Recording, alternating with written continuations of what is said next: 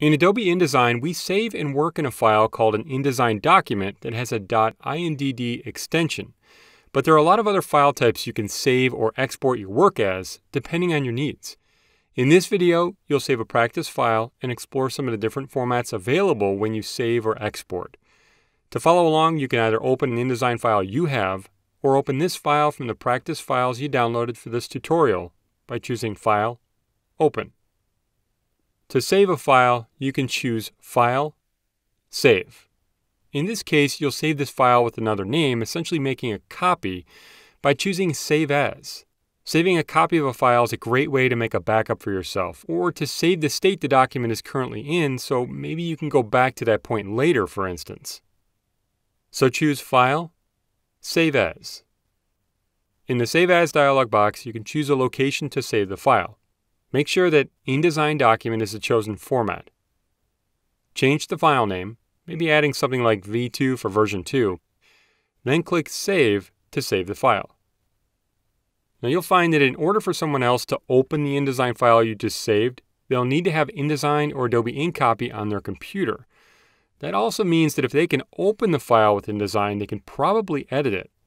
At times, you may want to just send a visual of the artwork you're creating in InDesign so someone who doesn't have InDesign can view it. You can do this by saving your document as a PDF. Anyone with a free PDF reader can then view the PDF file.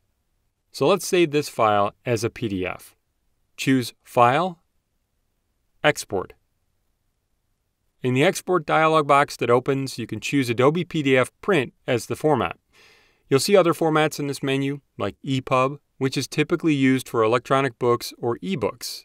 You'll also see PDF Interactive. That's a PDF that has interactive features like buttons, links, video, and more. Or maybe HTML for a website.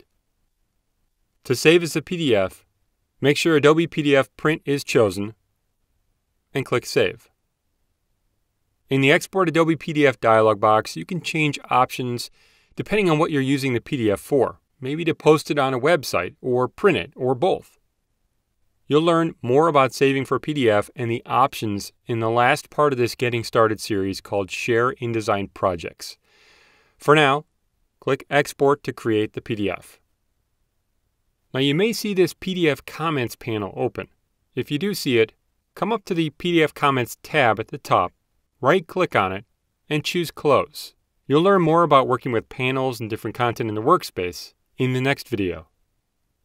You can close the open file in InDesign by choosing File, Close without saving if asked.